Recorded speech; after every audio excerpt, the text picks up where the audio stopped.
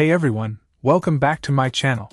Today, I'm super excited to share with you my thoughts on the Vierose 13 inch vanity mirror with lights. This makeup mirror has been an absolute game changer for me, and I can't wait to tell you all about it. Let's start with the design. The smooth, round shape of this mirror not only looks elegant but also ensures that there are no weird shadows messing up your makeup application.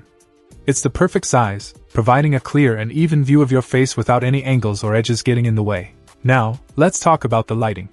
The LED lights on this mirror are fantastic.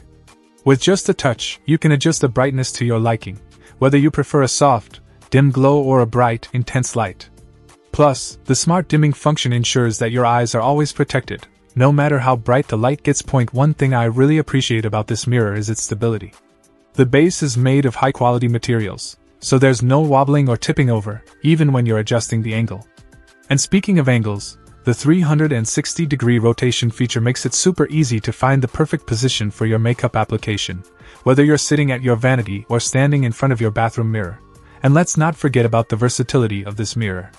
It's not just for makeup, it's also great for skincare routines, hairstyling, or just admiring your fabulous self.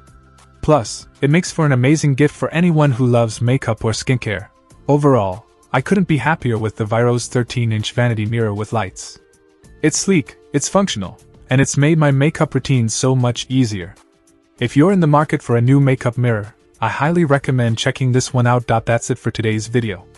If you found this review helpful, don't forget to give it a thumbs up and subscribe to my channel for more beauty and lifestyle content. Thanks for watching, and I'll see you in my next video. Check out the video description for updated price. And thank you for watching this video.